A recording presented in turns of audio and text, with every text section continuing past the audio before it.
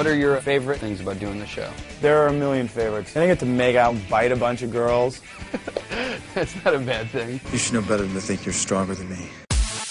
In your career, you've done the, the bad guy and you've done the good guy. Which do you prefer to do? The bad guys are usually more fun. These characters are predators. They are vicious killers at heart. It's like being a drug addict.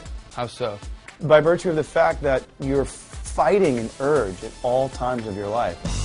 What's going on with Damon? Damon is finally starting to realize that he's not the biggest, baddest dude around. Mm-hmm. Now he's sort of doing one thing he knows he needs to do, which is protect his family and protect this girl that he loves. You know, you should just stay here. It's better for us to keep an eye on you.